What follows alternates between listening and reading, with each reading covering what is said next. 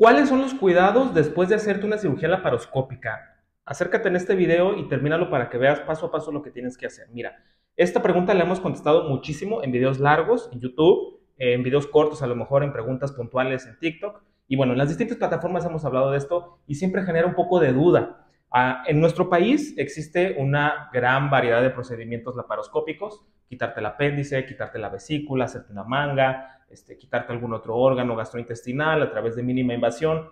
Y esta situación, pues bueno, varía muchísimo dependiendo de tu padecimiento, dependiendo si fue una cirugía urgente o programada, dependiendo de tus comórbidos, si, si lograste llegar de manera programada, de manera electiva a tu cirugía. Esto va a hacer que, por ejemplo, nosotros hacemos cirugías en donde te operamos a las 8 de la mañana y a las 6 de la tarde ya estás manejando a tu casa. En otros contextos, a lo mejor en la medicina pública o en instituciones en donde el paciente pues tarda más en ser atendido o llega de urgencia, pues a lo mejor vas a tener que estar hospitalizado dos, tres, cuatro días. Entonces, en esta variedad de contextos, luego el paciente pueda quedar con confusión y duda de, bueno, entonces, ¿cuáles son los cuidados? Mira, la respuesta es depende mucho.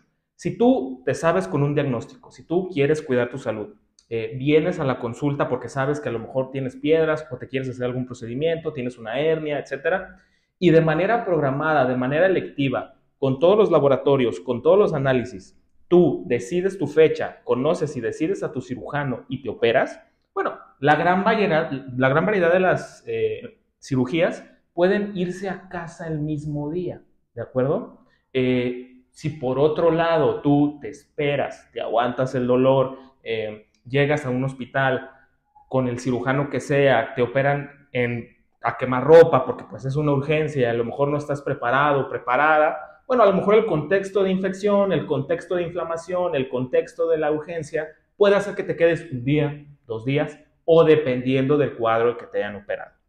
Independientemente, la laparoscopía es un procedimiento de mínima invasión, es decir, va a generar el menor trauma posible en tu cuerpo.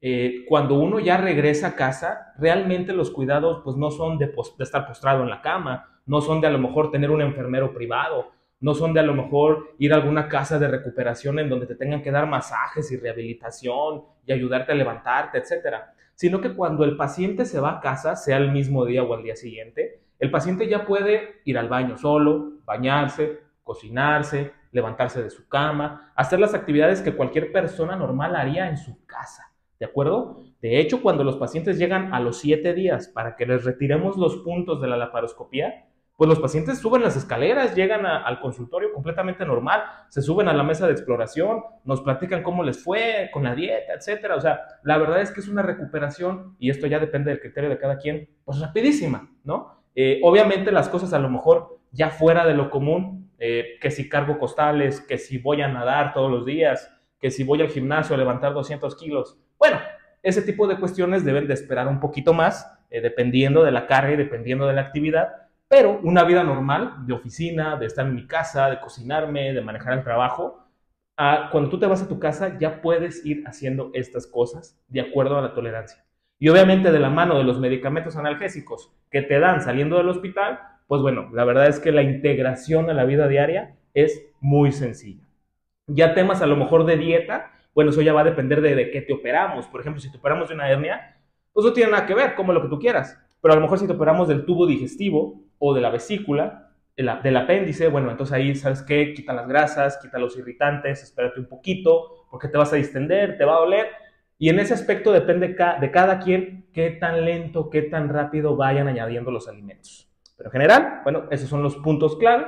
Ya las preguntas puntuales de cada quien podrán ir en los comentarios, pero pues esos son como los términos generales. Saludos.